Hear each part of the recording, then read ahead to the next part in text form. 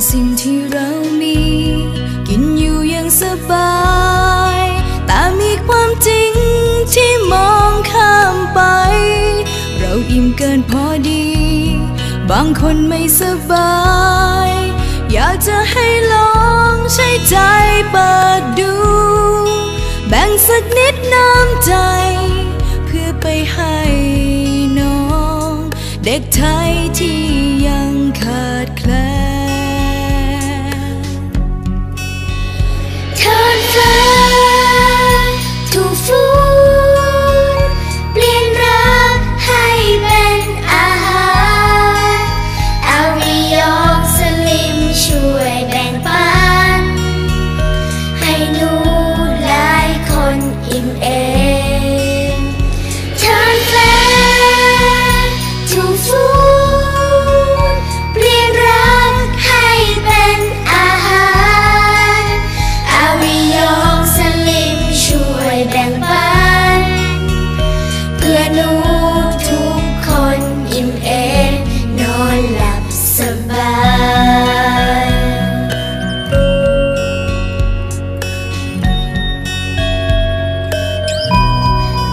สุขที่คุณมี